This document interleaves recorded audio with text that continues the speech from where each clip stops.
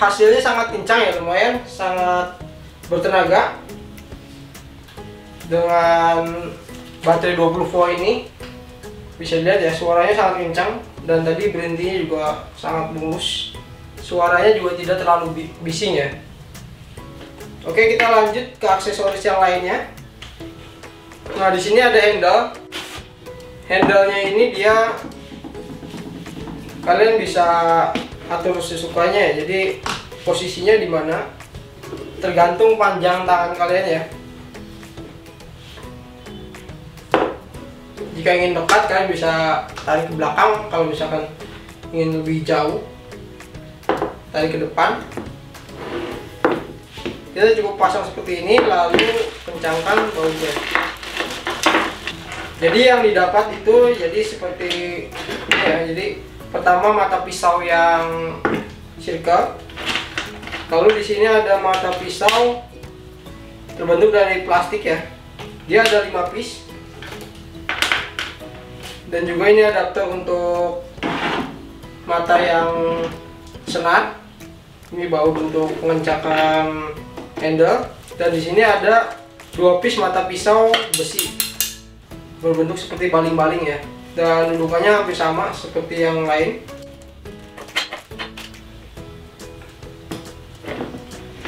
lalu pasang di bagian kanannya. Lalu kita tinggal kencangkan dan atur posisinya sesuai genggaman kalian ya. Kalau sudah tinggal kencangkan. Oke seperti ini ya jadinya. Jadi untuk mata pisau yang plastik dan juga besi ini dia cara pemasangannya sama. Yang membedakan itu dia untuk yang bagian senar. Nah, untuk yang senar itu ada adaptornya lagi.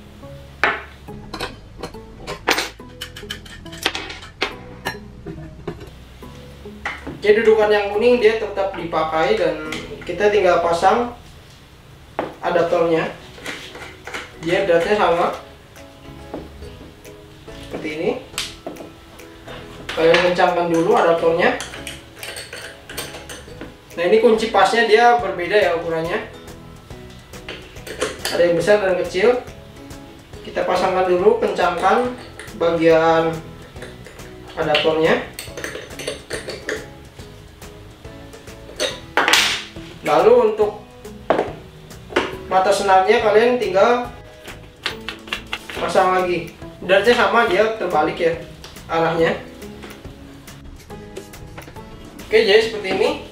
Mungkin kita coba lagi ya hasilnya seperti apa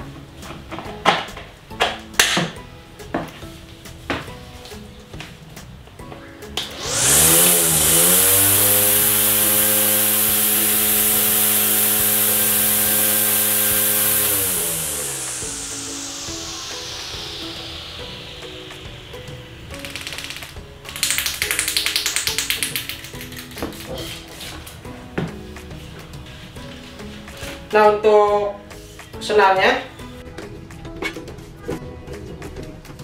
kalian bisa mengatur untuk panjang senarnya jadi kalian putar arah ke kiri jadi akan panjang. Kalau misalkan terlalu panjang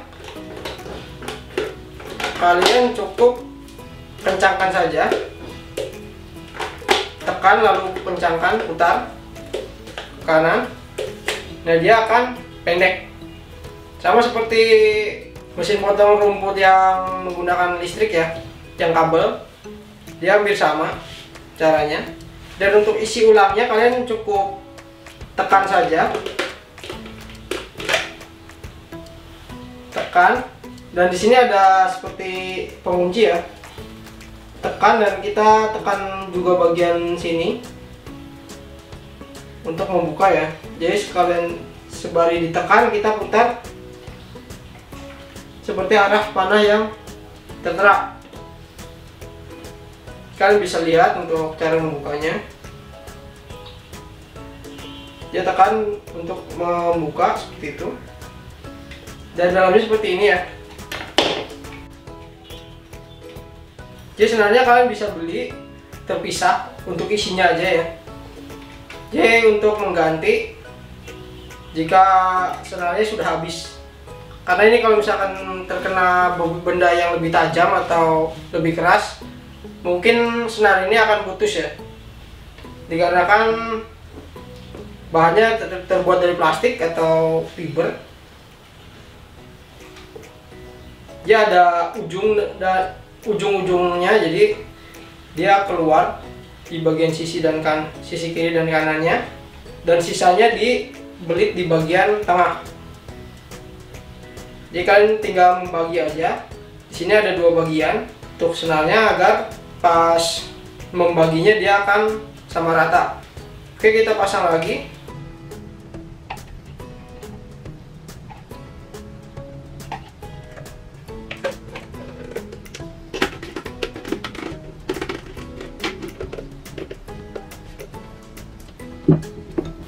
Oke, tinggal kita cek bagian terakhir yang menjadi sumber tenaganya ya. Jadi itu baterainya. Dia baterainya 20 volt. Kita cek apakah benar-benar 20 volt.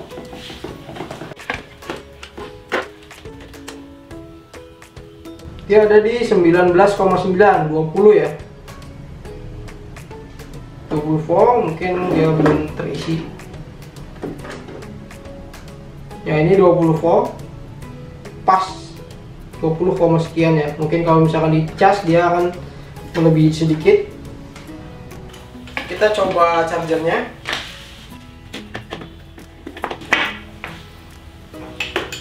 Nah dia indikator penuhnya dia hijau ya. Kita cek.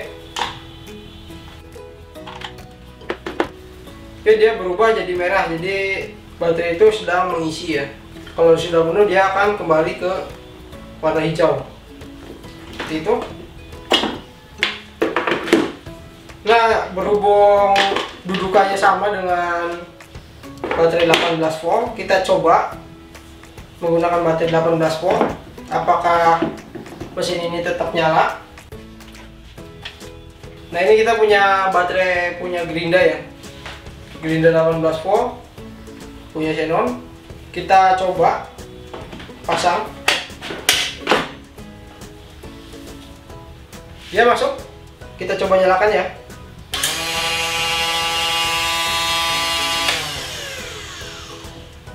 Kita coba menggunakan mata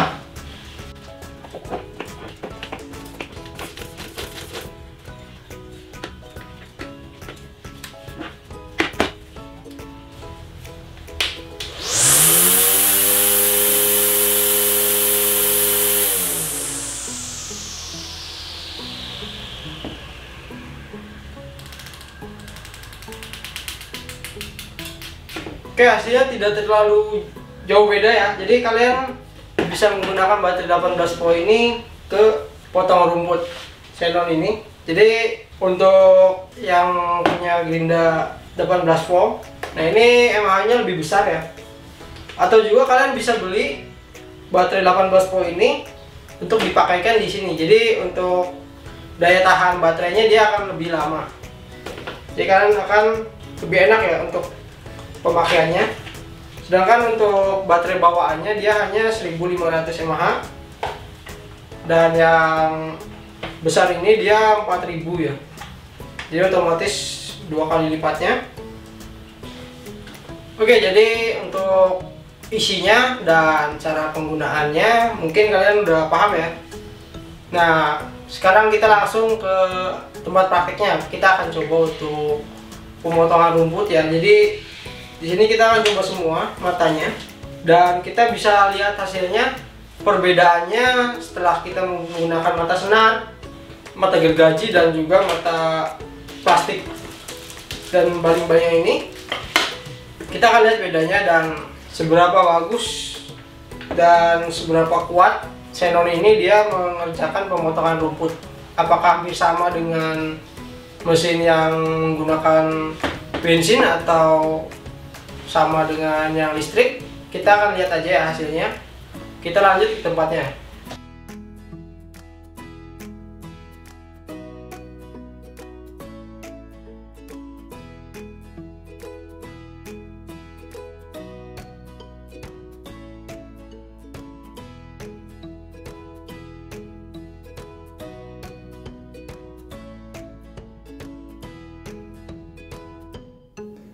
Terima kasih sudah menonton video ini. Jika ada pertanyaan mengenai produk ini ataupun produk Molar lainnya, silahkan tulis di kolom komentar. Dan jika Anda suka dengan video kami, silahkan komen dan subscribe YouTube channel Molar Official untuk selalu mendapatkan info terupdate dari channel kami. Sampai jumpa di video Molar berikutnya ya.